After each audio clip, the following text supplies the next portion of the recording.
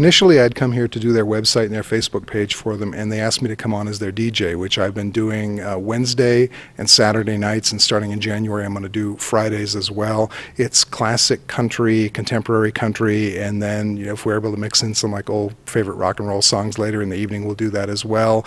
That's one thing we have going on. We also have karaoke Tuesdays and Thursdays, dance lessons, free dance lessons on Thursday evenings, and starting in January, we've got a restaurant back here where we have burgers, uh, fries, onion rings, chicken, nachos, stuff like that. We're also welcoming back Joe's Pizza to join us. So we'll have all the food that we have now as well as Joe's.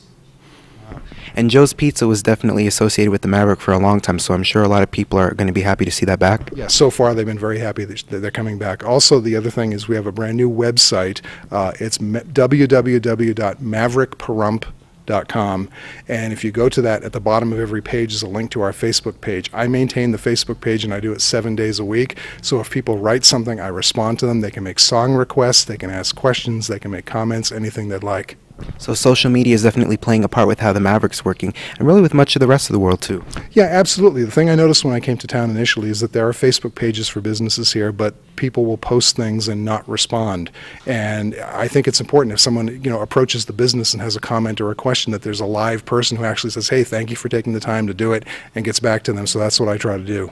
And you definitely know a lot about that because that's also something you do as well. That's kind of how you were brought into the Maverick. Well, yeah. Initially, I came in to do their website and do their Facebook page, and uh, after that was done, they had the need for the DJ, and I've got a background in music and you know, encyclopedia music mind here, and so uh, that worked out very well. And I've been very happy to be here and enjoy playing music for the folks very much. You guys have any New Year's events going on? We got a great event coming up on New Year's Eve. It's fifteen dollars per person. We have a buffet dinner, champagne toast, party favors, live entertainment with uh, Jimmy D and his Howlin' Dogs, and I'll also be doing uh, DJ music, country music, uh, just straight until the dawn, well past midnight.